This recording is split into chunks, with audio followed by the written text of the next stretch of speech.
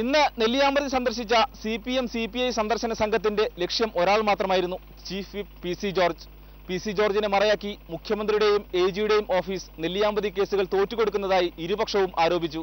പ്രത്യേകം പ്രത്യേകമായി നെല്ലിയാമ്പതിയിലെത്തിയ C P I C P M സംഘങ്ങൾ ചെറുനെല്ലി മീറ ഫ്ലോർസ് മോങ്കുവുഡ് രാജാക്കാട് തുടങ്ങിയ എസ്റ്റേറ്റുകൾ സന്ദർശിച്ചു. സർക്കാർ അടിയന്തരമായി നിയമസഭാ സമിതി രൂപീകരിച്ച് നെല്ലിയാമ്പതിയിലേക്ക് അയക്കണമെന്ന് സി പി എം നേതാക്കൾ ആവശ്യപ്പെട്ടു. ഞങ്ങൾ എൽ ഡി എഫ് ഇതിനെ സംബന്ധിച്ച് കോൺസെൻസസിലുള്ളതാണ്. ഈ പ്രശ്നത്തെ സംബന്ധിച്ച് അഭിപ്രായ വ്യത്യാസമില്ല. യോജിക്ക ആ ഞങ്ങൾക്ക് യോജിച്ച് വരാൻ ഞങ്ങൾക്ക് കഴിഞ്ഞില്ല.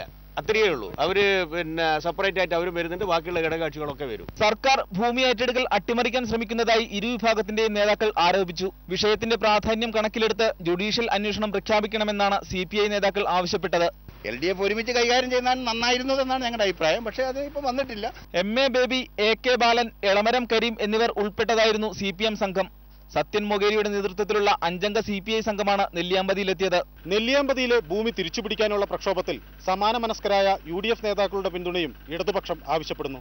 റിപ്പോർട്ടർ ബിനീഷ് അരവിന്ദനും ക്യാമറാമാൻ മുകേഷിനുമൊപ്പം മനു ഭരത് ഇന്ത്യ വിഷൻ നെല്ലിയാമ്പതി.